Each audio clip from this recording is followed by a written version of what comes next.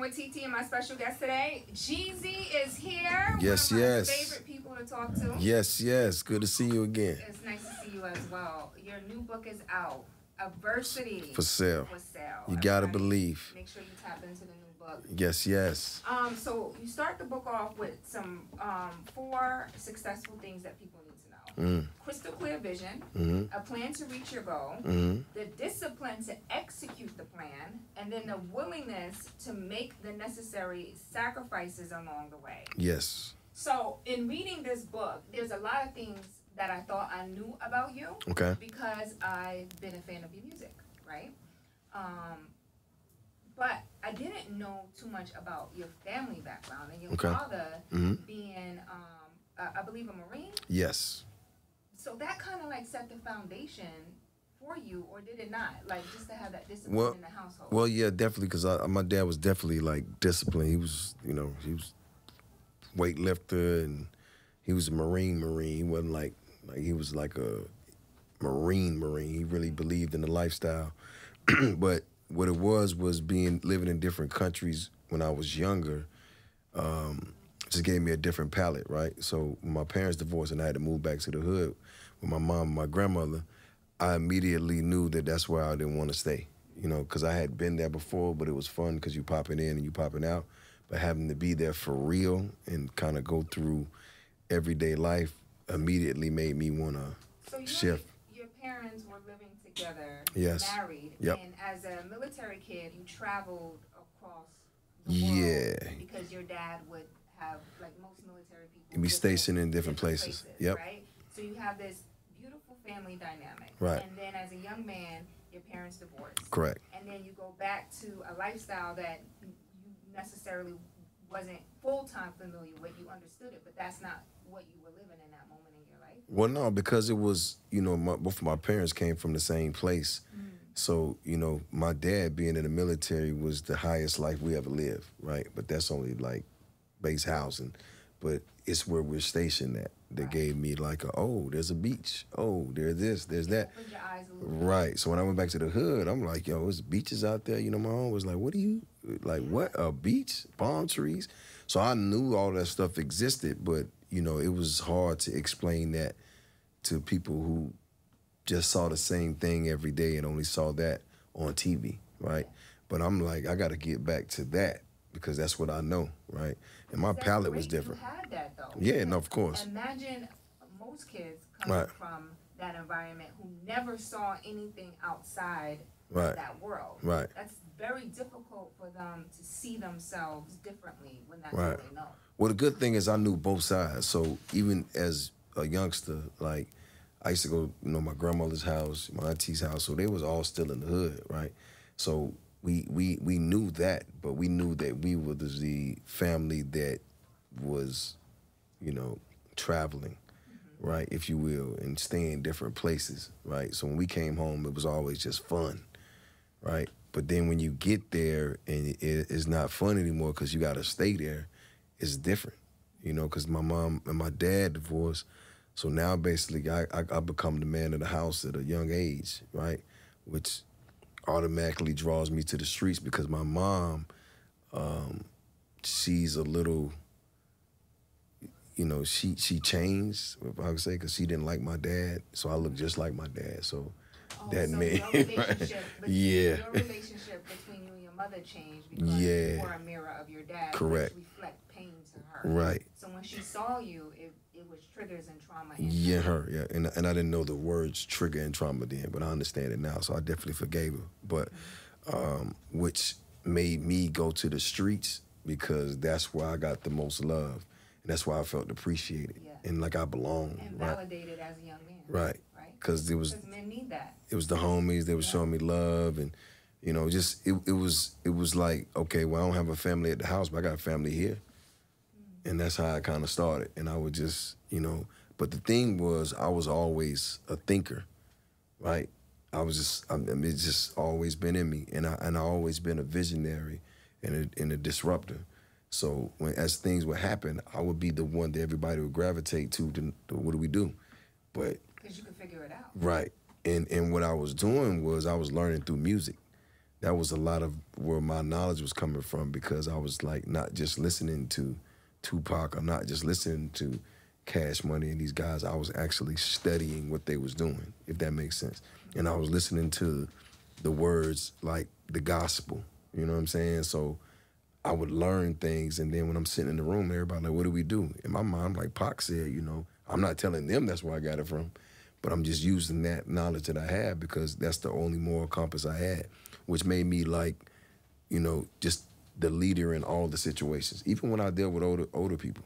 Because what I learned early is that when people get into situations, they can't think clearly when when everything's distressed. I'm I'm emotions are running high. right, but I'm my most comfortable when things are out of whack. I can handle that. So you say you're most comfortable when things are in disarray and stress. Right. Is that because you've learned to adapt, or it's because it's your coping mechanism?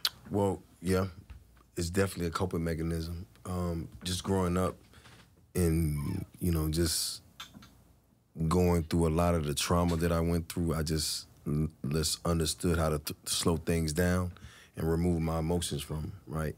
But that helps me in business today, like, because I can go sit down with these corporations and these companies, and quite naturally, when things don't go right, you know, they're all over the place. Me, I just sit there and I go, okay, don't we just we're gonna do this, right? Because I'm thinking I have clarity, Yeah. right? Because I'm balanced, Yeah. but you know, I, I don't want to compare the two, but I've been in so many situations where you say like it might be a shootout in the club or something, right? Mm-hmm. People panic, yeah. you know. I'm I'm I'm calm, right? Yeah. And I'm thinking, all right, what can I do to help people? Yeah. You know. you, you get into that, you tap into something that's uh, almost like a superpower. Yeah, but it's almost like you know I, I think about people first, Yeah. right, before I think about myself. So I've been in situations. Like I remember one time, I don't I don't know if he's you know, but Cam Newton, we went and hung out one day, Uh-huh. and and we was uh, in my in uh, um, Charlotte for like CIAA weekend or whatever. We go Mm-hmm. out, and I take him with me, so he's not accustomed to these environments or whatever. And this, and this incident happens, and everybody just you know freaks out, falls. You know, he's not a small guy. Yeah. So I remember me like looking for him and helping him get up, and then helping some girls get up and helping people get up. But if you're looking from the outside, you like, yo, Jeezy's actually in here like a firefighter or some Yeah. shit. You know what I'm saying? but but that's my first mind because when things go left, you know, I, I just get right. I don't really know what that comes from, but I do know that it is definitely a coping mechanism. Yeah. Definitely. Yeah. In this book, you share so much of yourself um, with, with regards to your come up in the game, um, marketing into becoming the snowman. Um, you shared so much about the dark periods of your life with the trial and everything that um, you went through with that. And people can pick up the book, um, Adversity for Sale, to really dig deep into into Jeezy's story.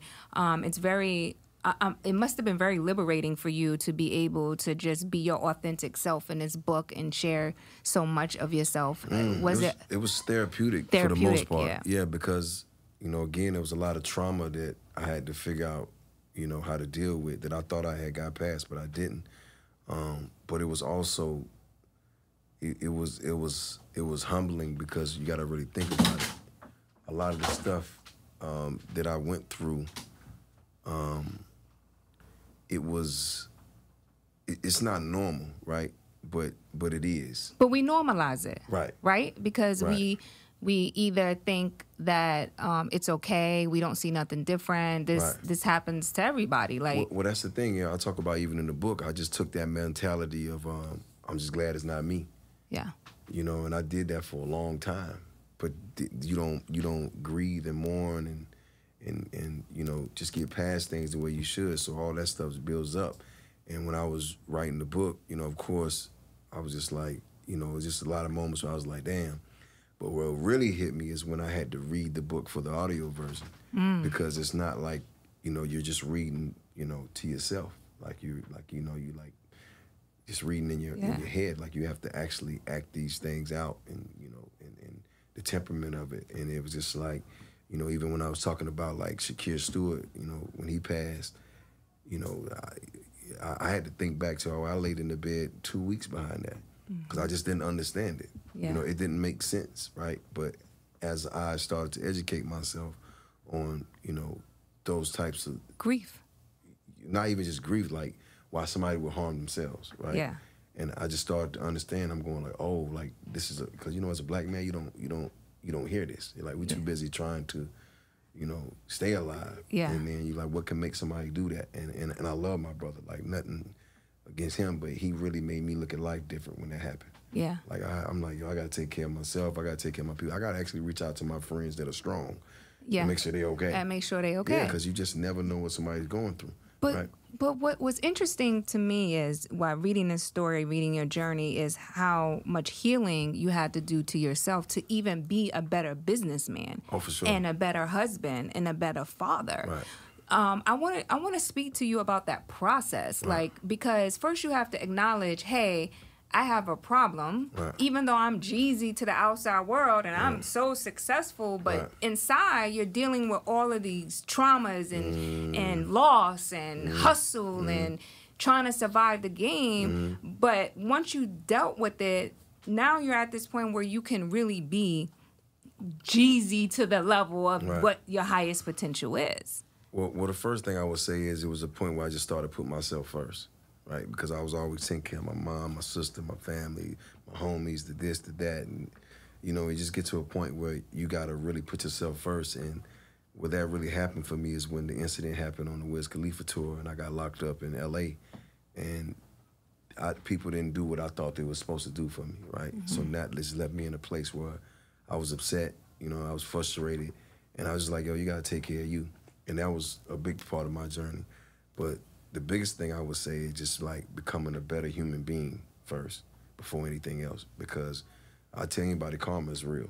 Mm-hmm. Because I did a lot of things, you know what I'm saying? People did a lot of things to me, but that didn't make it right. And when I started to understand that, you know, it's never too late to turn the curve, and I started doing work on myself because I just had to understand why I was like the way that I mm-hmm. was, and I started to understand that a lot of the habits and things that I picked up were based on survival, mm. because I was trying to survive. But mm-hmm. it was up until the recession that I figured out when the, when I started writing the recessions when I first felt like a superstar Yeah. anything before that, I was it was, it was a blur. Cause Wow. I thought I was going to prison. I, I was losing homies left and right. Like it, it just. And it- even though outside to a fan like myself, Right. it looked like you was at the height oh, I of was- I was at the part of the lowest moment of my life. wow, Lowest, lowest. bearing that, bearing all of that. bearing all that, you know, just my vices, how I was coping. You know what I'm saying? Yeah. My mom and my father, they, they, they, and my mom's family, they, they really drink, right? And and you know, so at a young age, like it was drinking was cool until you like drinking all day. Yeah. you know what I'm saying? But it's cool because it's Cristal and it's this and that, and you ain't taking care of yourself. So And you're not- women. yeah, and you if you're not taking care of yourself, um, health wise, right? You can't even make clear decisions, right? Yeah. And you're not taking care of yourself health wise. You're not even at your fullest potential.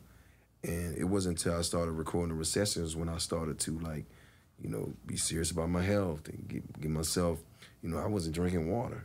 You know, Yeah. now I own water, but Yeah. I wasn't even drinking water back then, which was, you know, it, it sounds crazy, but Yeah, I was Cristal and Waffle House. I was 260 yeah, you know, and just out here just living. But this is the thing, I I was already prepared for the end.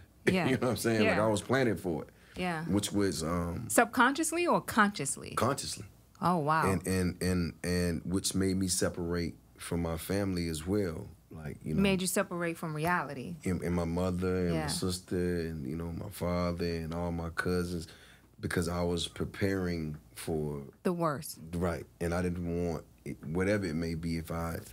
You know, You didn't want to allow happiness in because you didn't know Right. what the end result was already going to be. You was already conditioning yourself for that. Right, because two things. The first thing is you don't want to be too close. If something happened to you, it breaks them, right? Yeah. And then you thinking if I get picked up in whatever's going on, I don't want to be in a position where I'm thinking any different about what I got going on. So I, you know, a lot of people go in there, it, it, it hit you. You're not gonna see your family for 20 years. Like you know, that makes you think different, and you say things you probably shouldn't say.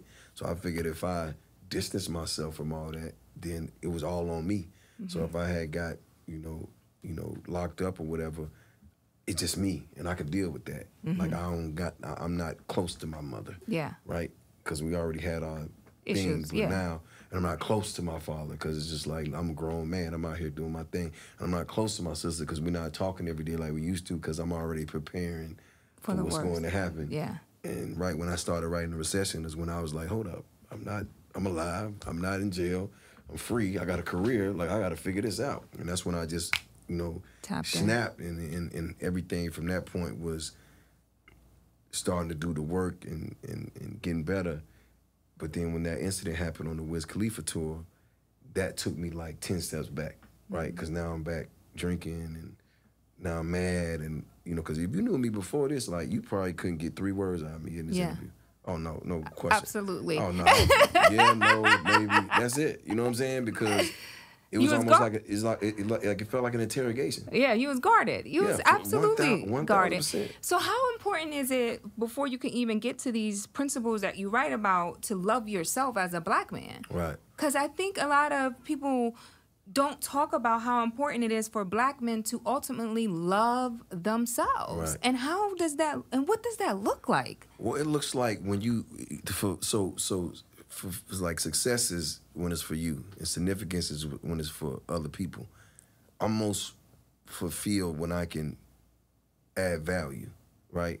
Or I can tell you about what I've been through, and it helps you, and you go, "Hey, man, you know that really touched me when you went through that. I went through that too." So for me, it's just like I really started to understand what my purpose was, and that's how I was able to start to understand why I need to love myself, right? Mm. Because before that, you know, I, I don't even think I knew what the word meant, right? Mm-hmm. Because I didn't, eh, eh, because coming from where we come from, and I can't speak for everybody, but a lot of stuff that I went through, my emotions was gone, like they was they were no longer there. You know what I'm saying? Like Yeah. I, I didn't feel anything for anyone or anything, Yeah. right? You know what I mean? Because once you lose so many people back to back to back to back to back to back, You start to numb your feelings. You're numb. Yeah. Like you don't even, you know, you just, you know, okay, you know, I just lost a homie last night. Somebody called me. I'm just like, you know, what can you do? You know what I'm saying? And, and my uh, my emotions had got to a point where I don't I don't feel like they worked. you know what I'm Yeah. saying? And you know, and what made me, you know, really flip the fish the switch was uh, flip the switch was that if I could fix or you know contribute to the next generation on the things that I know so that I can you know save lives and save people time and save people energy that's when I started to feel like you know there was a value there. Because mm-hmm. other than that who cares about a kid who made it from the hood that can make a couple songs and make Nope. millions. Of, so you were no longer being fulfilled by the rapper Young Jeezy's success or the success at all. You started to love yourself when you really started leaning into your purpose and Yeah. discovering what that was. And for you, it was like, let me touch these kids who Right. come from my environment. Right. Right. So when you talk about putting in the work, um, and you actually break a lot of that stuff down in, Mm-hmm. in the book, briefly, what does that work look like? You know, um, because I know like it's a lot. It, yeah, no, it, was, it was keeping it real with yourself and, and just going because you know I used to go in the rooms and you know I used to feel like I got to know everything. I gotta be, I gotta be, I gotta talk more in there. But nah, it's like no, you gotta listen, you gotta learn. Like it's, it's all about evolution. Every day I just want to learn. I just want to become better, and that's what just gave me that clarity of of what it's like to be someone who strives, you know, and and and, and is serious. Like, cause people you have to take yourself serious. Like me, I'm serious about evolution. Like I'm not just saying this. I'm not just. It, it could be no book. Right. I mean, you could be talking. It's like no, you you you have to evolve or you die. Yeah. Either way, right? Yeah. And you looking at somebody who's escaped this millions of times, but it don't even just stop as you being a successful star. Look at Nipsey Hussle. Look at Pop Smoke. Like it doesn't stop there. Yeah. It's like it's it's like a, a real life thing, and you got to understand what type of energy you embody, and and what type of path you want, right? Yeah. And the only thing that matters to me is to be what Pop couldn't be, right? Mm-hmm. He can't. He he he couldn't get to the point where he was of my age, and he can tell you what he went through because he would be so much more wiser, right? Big, same way. So it's almost like once we put ourselves in the artist box, it's no different from the streets. and the streets, is music these days. Yeah. Right? Yeah. So who's leading the way? And that's why I always say like the OG shit is dead. Like I don't even understand that. But a big homie, I could do that. Yeah. You know what I'm saying? I can relate to you as a big brother and be like, yo, man, listen. And I and I try to, you know, and like I ain't perfect by far. But I try to talk to a lot of the, you know, a lot of the cats that call me and be asking me questions. I'll be just keeping it real. I'll be like, yo, because a, a, lot of people just don't mentally get it. You know, like mm-hmm. even verses that wasn't about us. Yeah. It's about them. Like that's not about, uh, you know, it was whatever. You know what I'm saying? But you know, some somebody gotta Show lead by example, somewhere. Yeah. You know what I mean? Something has to happen to have a shift, and and, and if not, it's gonna continue to be the same cycle, and it's all good until it's somebody you know. Right. It's Until it impacts your life. Yeah, it's all good to it's somebody that you cared about. Yeah. You know what I'm saying? And now you sitting here and you going like, damn. And I think too, shedding light on a lot of the things that we've been through because I'm quite sure a lot of people are gonna read this book and not even know that these things were either something you can even fathom.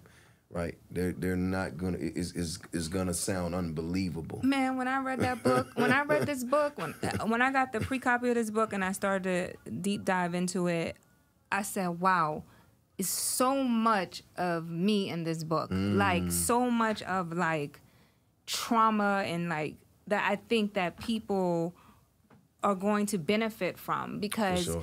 it starts with healing first, mm. right? And being truthful to yourself and really be honest about where you sit in this moment in your life. Mm-hmm. You know, where you at, where I'm at, where this person is, where you at in your moment in your life and be in that truth of it, right? Right. And then you can start the the steps to heal. Right. And then what what what comes with healing is power. Right. And then the universe and God will start to open up things that you are now capable of having and deserving, but now you can handle it and channel it better, right? Well, well, even like when we was talking offline and you saying, you know, the things that you had coming up. Imagine how that's gonna affect your listeners. yeah.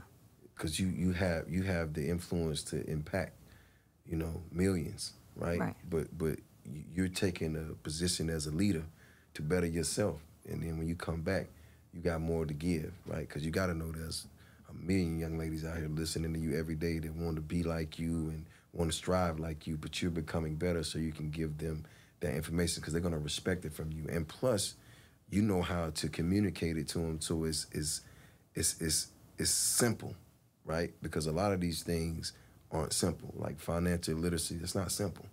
But if you if you're able to get the information and you're able to put it back in the culture and people understand it's just that simple. You know what I'm saying? It's just mm-hmm. like there's there's it's so crazy. Like it's no different than buying houses than buying work. It's the same shit. Like, I swear to God. I mean, you know what I mean? Without the, the jail time. Yeah. But once you look at it like that, you gotta go, wow, hold it. You know, and, and for me, you know, somebody else you know, helped me understand it. Mm. And that that just made me feel that much more closer, you know, to where I was trying to go. And it made me excited about telling my culture that this can be done, right? Yeah. And the calls that I get, you'll be surprised Yeah. you know, because they don't even know where to start, right? And and I'll be like, yo, just do this, do that. Of these people call you and it's like, yo, man, I just want to just thank you for changing my life, bro. Like nobody showed me about like wealth, Yeah. right? But just imagine that though. Like if I hadn't took that step, I couldn't even Yeah. give somebody those gems. That's why I say, you know, we have to give ourselves a pat on the back when we out here trying to be better because it's not about us. You know, you're gonna get the knowledge, but it's like what you gonna do with it. Yeah. That's why I say you gotta live full and die empty because you can't take it with you. Mm, I love that. Live full and die empty. Yeah, because it's like you know You got to pass it down, yeah, generations. The most, the most wealthiest place in the world is the is the graveyard. You know, Yeah. people take their ideas, their dreams, their goals, everything Wow. with them. You know what I'm saying? It's just like nah. The most wealthiest place is the graveyard. Yeah, for sure. And it just, Wow. you know, because you got to really think about it. Like, you don't want to leave here with regrets. You know, you wouldn't you wasn't the best version of yourself. You know, and you took these things with you because you feel like nobody wanted to know or you didn't know how to explain. I mean, I think about that every time I hit a stage. You're like, you know, 20, 30,000 people. You know what I'm saying? And Yeah. they're listening to you tell your story or, or, or, or perform your records about the adversity and the things you went through. Imagine how that resonates with them when they leave. Everybody probably going through something.